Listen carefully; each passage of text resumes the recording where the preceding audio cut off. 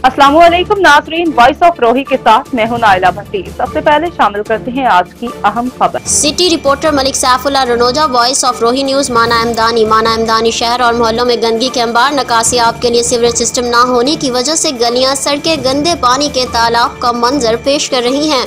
तफसीत के मुताबिक माना हमदानी में मकामी नुमाइंदों की अदम तोहजी की वजह से शहरी लावारिस जगह जगह गंदगियों के अंबार नकासी आब होने की वजह से सड़कें, गलियाँ, तालाब, मंजर पेश कर रही हैं। इंतजामिया लस्सी पीकर खरगोश की नींद सो चुकी है।